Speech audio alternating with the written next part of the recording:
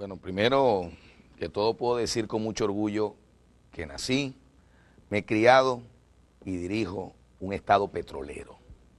Conozco muy bien qué es lo que ha sido el petróleo para una región.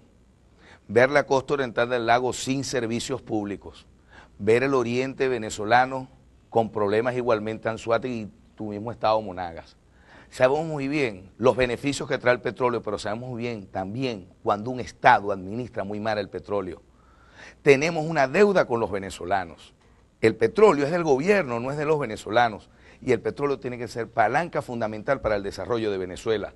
Dejar de ser la Venezuela rentista petrolera y dedicarnos a ser la Venezuela de apalancar otro tipo de actividades. En este momento hay 8 mil millones de dólares que no le ingresan a las arcas a Venezuela por la regaladera del petróleo a otros países. ¿Y qué estamos haciendo? Tienen que pagarnos nuestro petróleo y crear una solidaridad de los pueblos, pero primero son los venezolanos. Vamos a invertir. Gracias, candidato. Vamos con el tema primero también del equilibrio ambiental que tenemos que tener. Los pasivos ambientales más grandes los tenemos en el lago de Maracaibo, vayan a ver José lleno de coque, las montañas de coque, vayan a ver la costa oriental del lago, con los problemas ambientales que tienen. Ahora, los precios altos del petróleo no es un tema de que nosotros vamos a bajar la producción. Tenemos que equilibrar y diversificar la economía venezolana y mantener la OPEP y principalmente que PDVSA sigue siendo del pueblo venezolano, no del gobierno, que pasa a ser formar parte del pueblo Gracias, para garantizar candidato. su seguridad social. Finalizó.